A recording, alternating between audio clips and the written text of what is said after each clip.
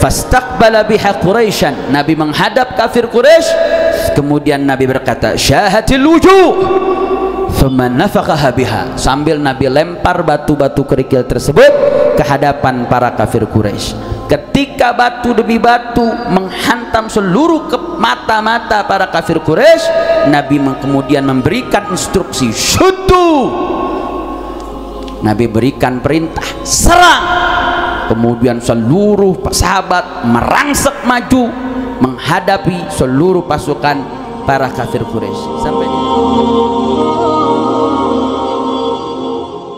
diriwayatkan Nabi berdoa mengharap pertolongan Allah Subhanahu wa taala. Kenapa?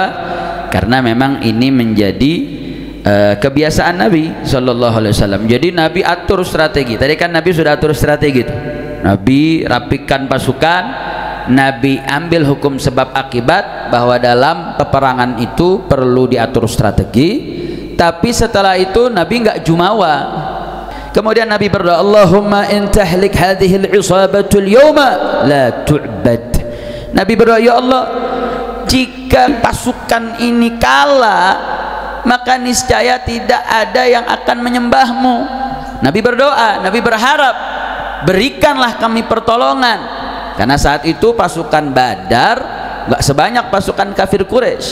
Nah, Sayyidina Abu Bakar yang dengar munajat daripada Rasulullah sallallahu alaihi wasallam kemudian menyambung dengan perkataan ya Nabi Allah ba'da munasyadatik fa inna Allah munjizun laka ma wa'adak wahai Nabi Allah ba'da munasyadatik setelah doamu setelah munajatmu setelah permintaanmu maka sesungguhnya Allah akan mengabulkan dan memenuhi janji Allah subhanahu wa ta'ala untuk memberikan kemenangan. Karena kan Allah sudah berjanji intan surullah yansurkum. Jika kau bela Allah waktu Nabi dengan para sahabat perang badar. Kira-kira yang dibela kearapan atau bela Allah?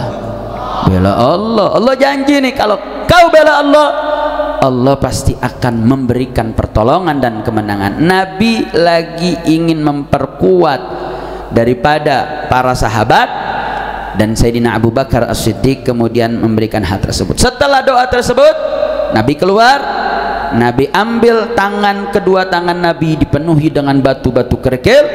Fastaqbala biha Quraisyan. Nabi menghadap kafir Quraisy kemudian Nabi berkata syahatil wujuh thumma nafaqaha biha. Sambil Nabi lempar batu-batu kerikil tersebut ke hadapan para kafir Quraisy ketika batu demi batu menghantam seluruh mata-mata para kafir Quraisy Nabi kemudian memberikan instruksi syutu Nabi berikan perintah serang.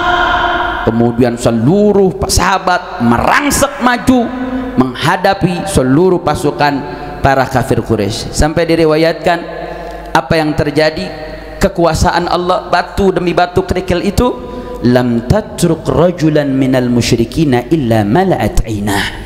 Tidak satupun musyrikin musuh Allah di perang badar tersebut satupun mata yang terlewat dari kerikil yang dilempar dari tangan Nabi kita Sayyiduna Muhammad sallallahu alaihi wasallam.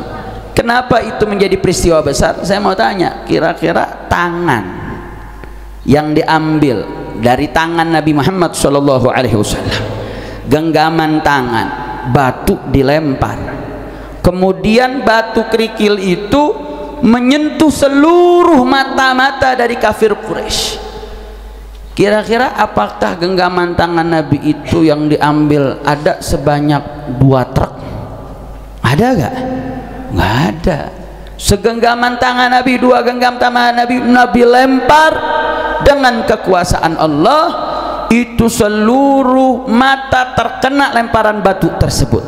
Sampai-sampai diriwayatkan wastaula alaihimul muslimun wa mahum nasrullah masuk merangsek para sahabat beserta para malaikat berperang yang lagi jadi para musuh-musuh itu ketika matanya kena lemparan batu mereka kocar kacir udah nggak bisa ngelihat lagi.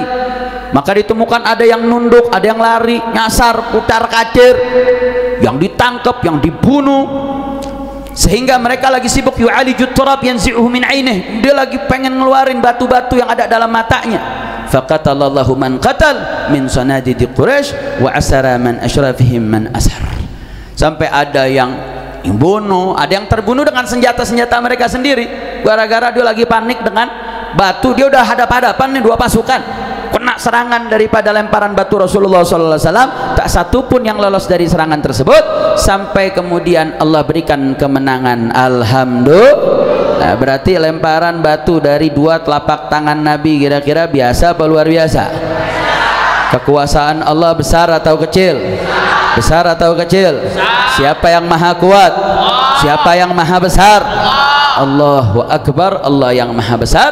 Dan kebesaran itu tampak dari junjungan kita Nabi kita Sayyiduna Muhammad sallallahu alaihi wasallam. Mudah-mudahan Allah berikan kemenangan untuk kita, kemenangan bagi para ulama kita, kemenangan bagi mereka yang senantiasa menjunjung tinggi ajaran Nabi kita Sayyiduna Muhammad sallallahu alaihi wasallam. Karena yang berikan kemenangan kepada Nabi Allah Subhanahu wa taala dan zat itu bakin, zat itu kekal, tidak pernah sirna. Artinya kemenangan akan terus diberikan oleh Allah Subhanahu wa taala selama kita penuhi unsur-unsur yang dimana Allah berikan kemenangan tersebut. Mudah-mudahan santri maka syariah menjadi pejuang-pejuang Allah subhanahu wa ta'ala yang akan menjemput kemenangan-kemenangan untuk bangsa, negara dan agama kita. Amin ya rabbal alamin. Hakadha minni wa minkum. Assalamualaikum warahmatullahi wabarakatuh